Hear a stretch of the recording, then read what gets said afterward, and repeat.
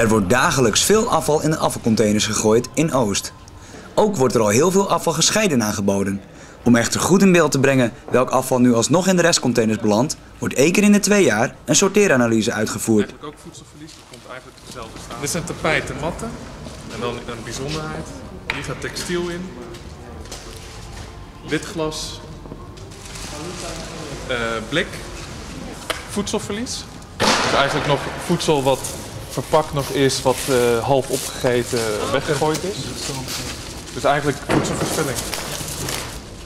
Eh, vandaag, gisteren en morgen zijn we voor Stadsdeel Oost in deze koude hal eh, bezig om te kijken wat de gemiddelde bewoner van Stadsdeel Oost in zijn afval gooit.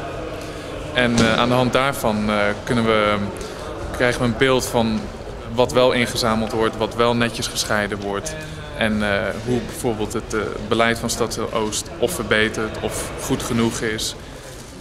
Het valt me erg op dat er veel eh, herbruikbare dingen in zitten, zoals statiegeldflessen, boeken, complete boeken. Dus het is erg, erg interessant om te zien wat mensen eigenlijk in het restafval gooien.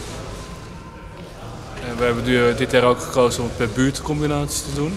Dus we kunnen heel buurtgericht kijken van eh, eh, hoeveel papier of hoeveel glas, hoeveel, waar, bestaat het restafval nou uit. Welke delen van het, wat in het restafval zit kunnen nog gewoon gescheiden inzamelen.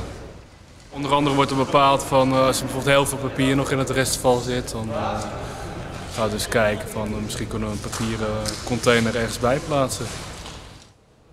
In vijf dagen tijd is er voor de sorteeranalyse bijna 4000 kilo aan afval gesorteerd. Het resultaat zal een goede basis vormen voor het inzamelen van afval in de toekomst.